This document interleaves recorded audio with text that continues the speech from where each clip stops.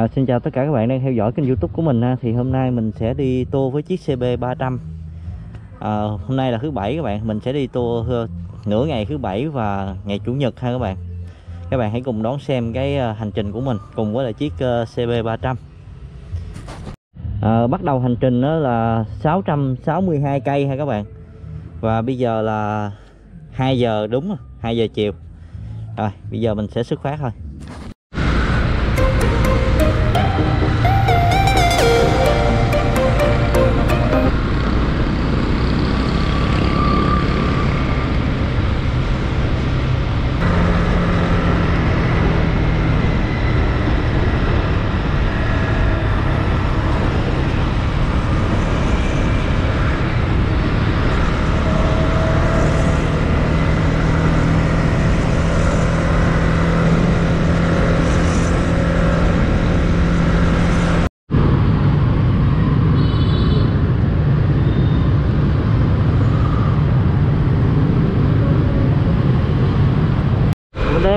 Cát lái nhân trạch nha các bạn. Thì cái tuyến đường cát lái nhân trạch này đi á, là nó nhanh hơn là cái đường quốc lộ 1A cái xa lộ Hà Nội ở ngoài kia. Nó đỡ phải chán đinh nữa các bạn và ít xe tải xe container hơn. Đó. Cho nên là mình lựa chọn cái tuyến đường này là thường để đi những cái cung đường mà từ ờ, Nha Trang Đà Lạt rồi là mình đi đường này hoặc là An Giang Mũi Né gì đó. Nói chung là cái hướng ở ngoài ờ, hướng Bắc là mình đi ờ, đường Nhân Trạch ha đi phà qua thì nó cũng ờ, khỏe hơn rất là nhiều. Công an, đường này thì công an nhiều lắm bạn. Mình chạy ờ, ban ngày thì cứ khoảng ờ, 60 đường này cho chạy 60 thì cứ chạy 60 đó. Nói chung là nó chỉ cũng có cái một đoạn cũng ngắn thôi chứ không có dài lắm, cho nên là mình cứ duy trì tốc độ 60 là cũng phải rất là nhanh rồi các bạn. Như bữa nay là thứ bảy cho nên là đường nó đông hơn bình thường nhiều lắm.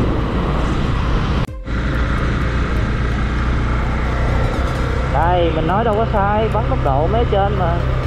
Đây bắt tôi đi bắt đi.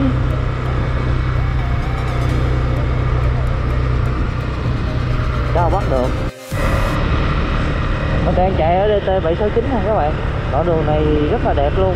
Từ ở đầu đường quốc lộ 51 vô tới ờ, ngã ba dầu dây. Đường láng mình như vậy các bạn. Thì hồi lâu mình có cái clip mình chạy BMW uh, ờ, test trên con đường này mà chạy uh, hai trăm mấy đó các bạn bữa nay hình như có công an hay sao á hồi nãy có vài người đi ngược chiều lại ra hiệu cho mình đó không biết là có hay không. Cái đoạn này thì nó cho chạy khoảng 70 đó các bạn. Vô khu dân cư thì chạy còn được 50 bữa nay mình đi uh, chậm không có nhanh ha. Cho nên là từ củ chi mà xuống tới đây là gần 2 tiếng hồ rồi nếu mà đi ờ, đoạn đường từ Củ Chi qua quốc lộ 13 ra ngã ba dầu dây thì mình chỉ đi mất tầm khoảng một tiếng thôi. Còn đi xuống thành phố qua phà cắt lái rồi đi ờ, qua cái đường tỉnh lộ 769 này thì nó mất ờ, 2 tiếng đồng hồ của mình.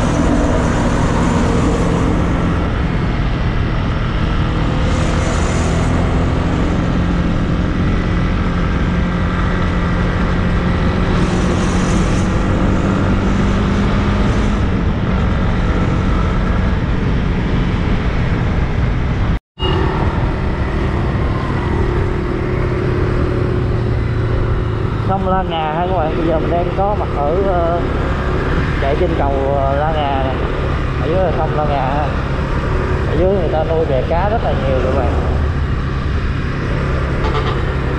Ở cái này uh, mấy tháng trước chính xác là khoảng ba bốn tháng trước các bạn thì mình còn chạy xe với thầy nữa nè. Cái lòng sau lúc đó nó cạn hết. Bây giờ năm ra tới mí ngoài kia luôn rồi. Bữa mình còn lấy bem rút mình chạy xuống đó tới ngày em mí này được rồi.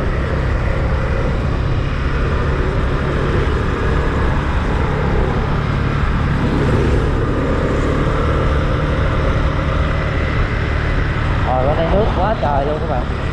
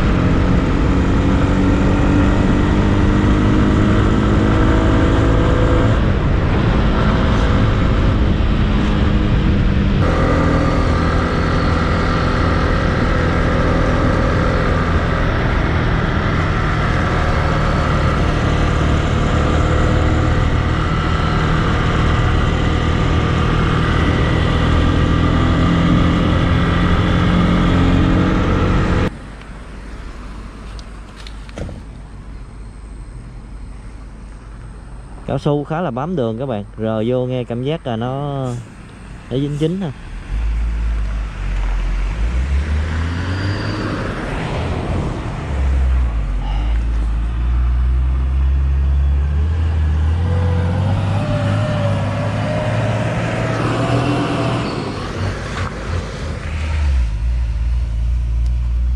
xe này đi bụi ghê lắm các bạn. Kiểu như là nó không có kiến chắn gió mà nó làm cái ghi đông cao á đi bụi nó nó hắt vô ghê lắm. Nè các bạn nhìn thấy không? Mấy cái vị trí trên xe nè bụi bám rất là kinh khủng luôn. Với 900, hồi đó mình đi với bụi nó cũng không có bám nhiều đâu nha. Nè chiếc này nè rồi bụi nó bám ghê luôn. Đây là cái ba lô yên sau của mình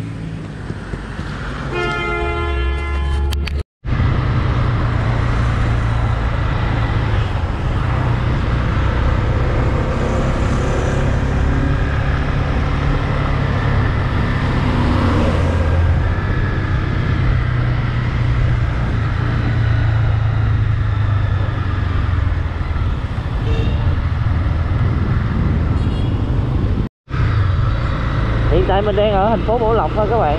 Và hồi nãy mình mới vừa coi cái bảng chỉ đường đó là nó ghi còn 111 cây số nữa. Mới tới ờ, Đà Lạt, hồi ờ, chiều này hình như mới mưa các bạn, đường còn vẫn còn ướt nè. 100 111 ờ, cây nữa. Chạy tầm khoảng một tiếng nếu mà chạy nhanh thì tiếng rưỡi.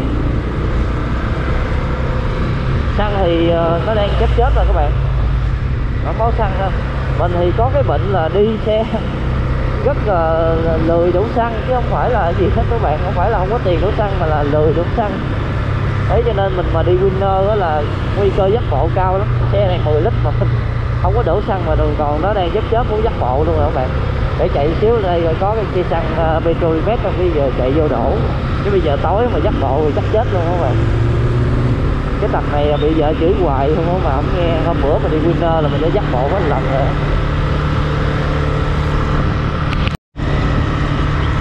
Lên tới trên thành phố Bảo Lộc rồi bắt đầu là tự nhiên nghe lạnh rồi các bạn. Tự nhiên chỗ đèo Bảo Lộc thì vẫn chưa lạnh nha nhưng mà à, qua tới thành phố Bảo Lộc rồi á thì trời nó mới vừa mưa xong nè đường còn à, ướt luôn chưa chưa có khô các bạn.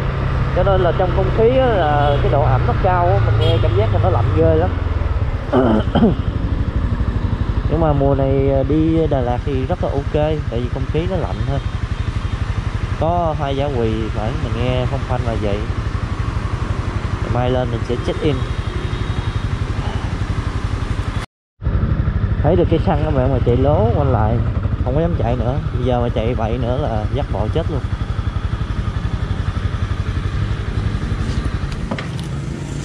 Đây bên đi à,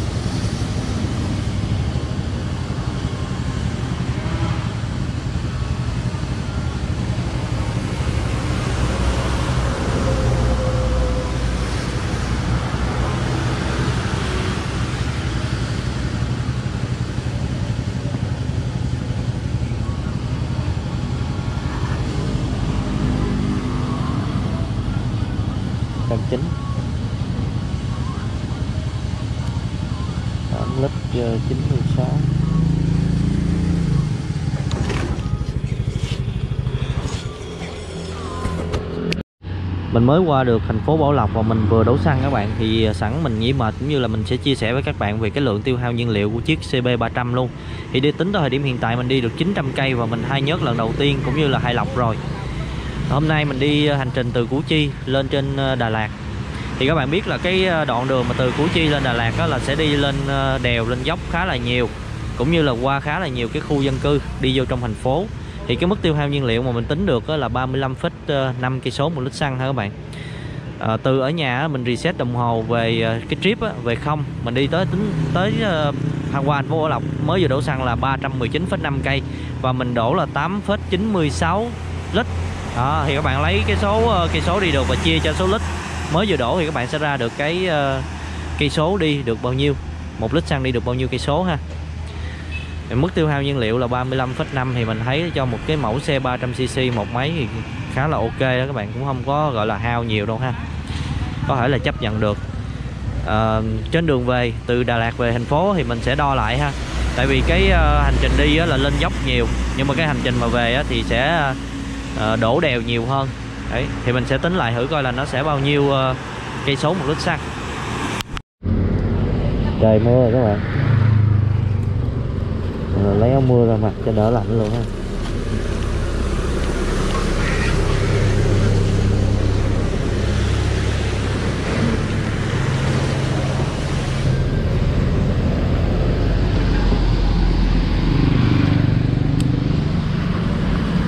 Xuống đỡ vô thôi. Chút xíu nữa thì à, bỏ đồ vô tiếp nữa. Hôm bữa kia có bạn kêu mình là review cái túi này, là đi mưa thử coi nó có bị ướt hay không ha thì cái túi này như các bạn thấy là nó không có cái lớp mà bọc ờ, chống nước ở ngoài như là cái túi ờ, hôm, hôm bữa mình đi Winner mình quay cho các bạn á. Cái túi này nó để được nhiều đồ hơn là cái túi kia. Và nó chống nước nó chống nước tới mấy lớp lần các bạn. Đó như các bạn thấy là mình không có cái đầu bọc luôn. Để túi nguyên si luôn ha. Và cái cơ cấu ờ, khóa cài của nó nè phải nói là cực kỳ xịn luôn. Cái cơ cấu khóa cài này thì nó giúp cho cái ba lô này đem theo được nhiều đồ hơn. Đó mà nó không có bị trồng trên nó không có sợ bị ờ, uh, xúc chốt hay gì hết nha các bạn. Cái này để ngày mai á, mình sẽ quay cho các bạn hoặc là tí xíu nữa mình tới khách sạn á, mình mở ba lô xuống. Để mình sẽ quay cho các bạn xem cái cơ cấu ở mấy dưới uh, của cái yên của cái đầu gài của nó ha.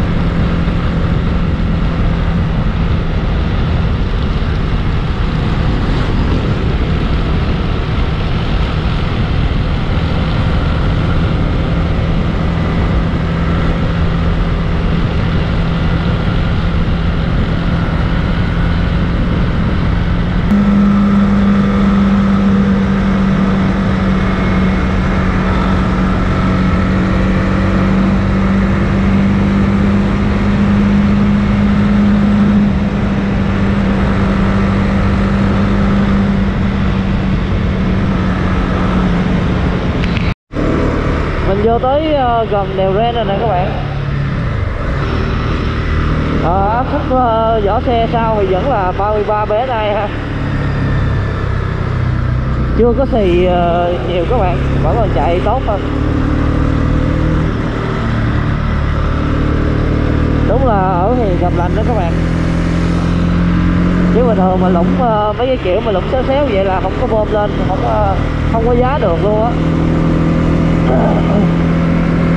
trong cái ờ, rủi nó cũng có cát may nói chung là mình đi mình cán đinh hoài luôn á. Các bạn coi vlog của mình chắc là sẽ biết. Cứ mỗi một tour đi là cái cán dây đinh mỗi tour là cán dây đinh mà nói thật sự luôn là nhiều bạn bị chứ không phải có mình mình.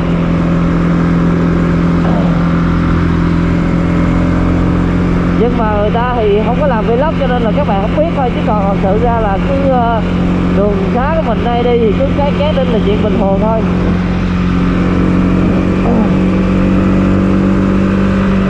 Chỉ cần là trời nó không có mưa thôi các bạn. Còn trời tối cỡ nào thì chạy cũng được ha. Mình chỉ sợ là vừa mưa mà vừa trời tối thôi cái kiến uh, uh, nó bảo hiểm của mình nó bị mờ á không có thấy đường chạy. Chứ còn mà trời mà khô ráo như vậy á, thì trời tối thì ờ, đèn này nó vẫn chạy ok. Đó các bạn nhìn thấy không? Mình dội đèn pha ra nè mà sáng bình thường thôi trừ những cái trường hợp mà đi chung với mấy xe tải á, mà nó đội đèn nhiều quá thì nó khóa cái ánh đèn của mình á. Thì ánh đèn mình ờ, nhìn không có rõ thôi chứ còn tự ra nhìn vẫn ờ, ok ha. Hoặc là đi trong cái điều kiện mà đường nhựa mà nó màu đen á.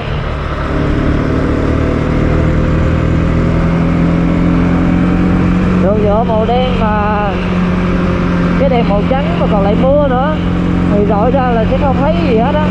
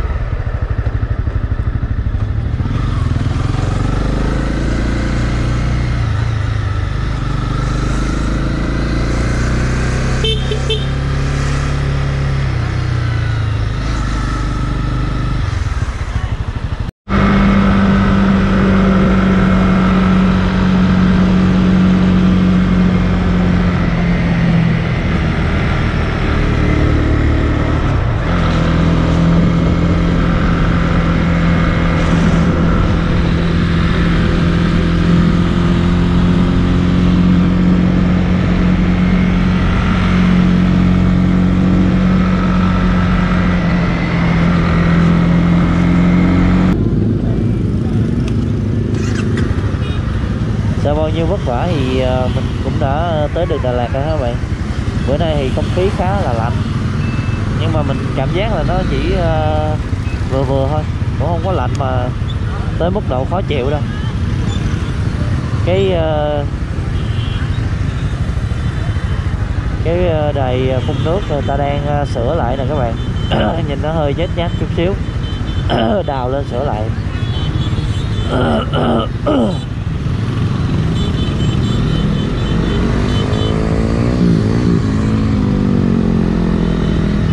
đông khách du lịch luôn.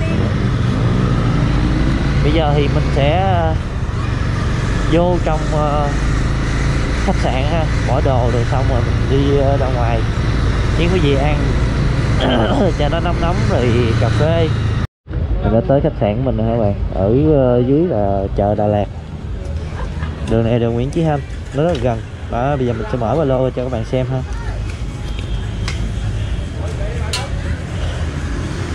Thao tác ờ, mở ba lô rất là nhanh thôi các bạn. À, đây. Để mình nói với các bạn nè thấy không? Cái dây này á, nó sẽ nằm ở ờ, giờ gỡ cái này ra cắt. Đó. Đó. Nó nằm ở giữa cái yên bạn. Mở cái yên ra cái là mình ờ, trồng nó vô nè trồng cái sợi dây vô trong cái yên luôn cho nên là khi mà mình à, móc á là nó vừa cứng nè. Nó vừa cứng được uh, ở mấy dưới rồi ở mấy trên luôn. Trên thì nó có cái ba lô đè lại rồi. Đó. Cho nên là cái uh, cái móc dây của cái ba lô này nó móc được rất là nhiều đồ ha. Bữa nay đi thì nó hơi ê đít nên mình để cái khăn xuống mình lót luôn các bạn. Rồi bây giờ lên nhận phòng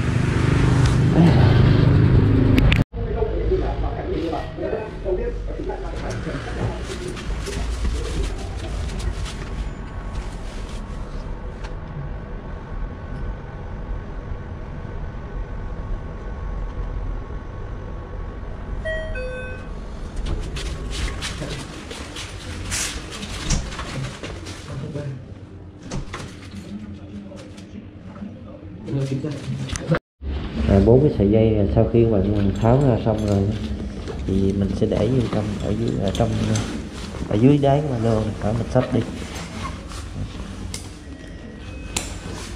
Ok. Rồi ha rất là tiện lợi. À, tuy nhiên thì cái ba lô này mình sẽ không có bán ha.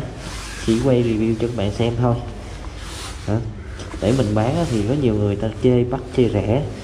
À, ta nói mình là bán ờ, đồ mắc này kia thì thôi mình không bán. Để cho cái cho ai mà cần thì tự ờ, tìm nguồn mua thôi. Hàng này thì ờ, đặt từ nước ngoài nha các bạn chứ ở Việt Nam mình không có đâu nha. Ví dụ như ở ngoài nó dơ vậy nè mình lấy nước đó, mình xịt rửa luôn. Hả? Ở bên trong thì nó không có hâm nước ha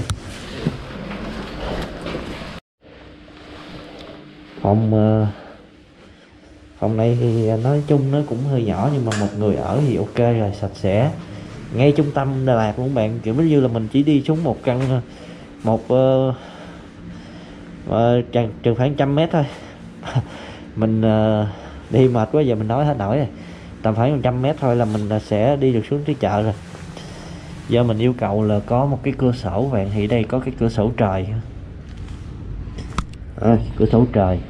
Ở Đà Lạt thì người ta hay uh, làm cái dạng như là Ờ, nó không có không gian mà cửa sổ nhà hợp á thì người ta làm một cái đường thông lên trên đó thông xuống bao nhiêu phòng luôn.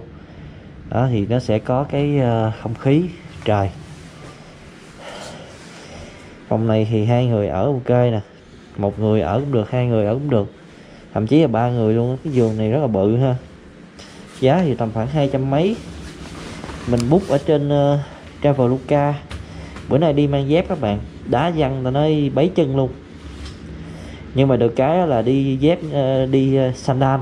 Đi sandal thế này thì nó không có bị dơ. Không cần phải trùm cái ờ, bao trùm luôn. À, thoải mái nhanh nhanh chóng gọn lẹ. Nhưng mà đi vậy thì rất là nguy hiểm cho bàn chân ha.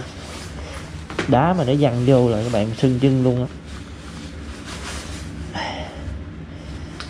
Mình thì đang mặc uh, bộ áo mưa nhất là nó không có bị ờ, mưa ướt nè thứ hai là nó đỡ lạnh cực kỳ đúng không bạn. Đi rất ok ở mưa GV ha.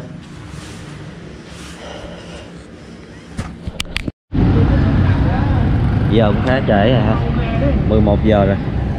Lên cái chỗ mà ăn súp cua mà mình hay ăn đó để uh, ăn đại cho đỡ nó đói rồi chút xíu mình sẽ kiếm cái gì đó về phòng. Ăn nhậm thêm ha chỗ khách sạn mình mướn thì ờ, tầm khoảng 11 giờ. Ô 12 giờ, đóng cửa rồi. Lên trên Đà Lạt thì hơi trễ tí xíu.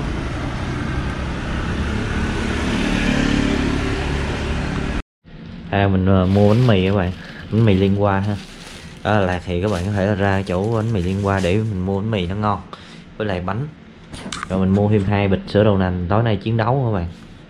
Làm clip, youtuber khổ các bạn giờ phải giờ ờ, uh, hay gì tối nghỉ giờ phải uh, làm clip để ờ, uh, kịp up. Cho nên đừng ngại mà cho một like ha các bạn? Ví dụ như mà có gì mà không vừa ý thì cứ comment. Chứ còn mà dislike thì rất là buồn ha.